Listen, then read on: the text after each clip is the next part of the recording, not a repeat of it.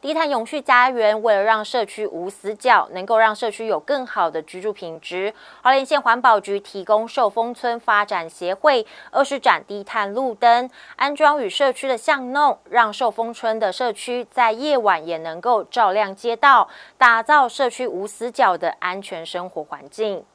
近几年，寿丰社区发展协会为了打造友善的生活环境，为当地居民在早田沟北侧以绿美化。低碳为主轴的生活休闲公园环境，争取到花莲县政府补助低碳节能的路灯，照亮社区死角，提供社区居民优质休闲的环境。今天呢，陪同我们张怀文议员以及我们辖区辖区啊所内的啊张所长，那么一起来会刊呐，我们即将要跟我们环保局啊啊争取的这个二十几盏的太阳能探照路灯啊。那么我们希望啊，能够啊装在我们社区啊，啊，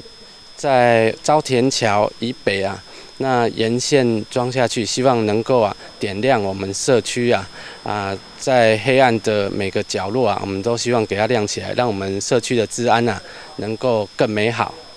而寿丰分住所也向县议员张怀文争取到道路监视器，让民众生活更获得保障。这哦，这个这个哈，那个要。十分感谢啊，我们那个张怀文张玉作的那个哈大力支持，这样在经费十分拮据的情况下，还愿意把经费哈拨弄在我们社区的治安啊这边在在哈都是针对我们这一些警力啊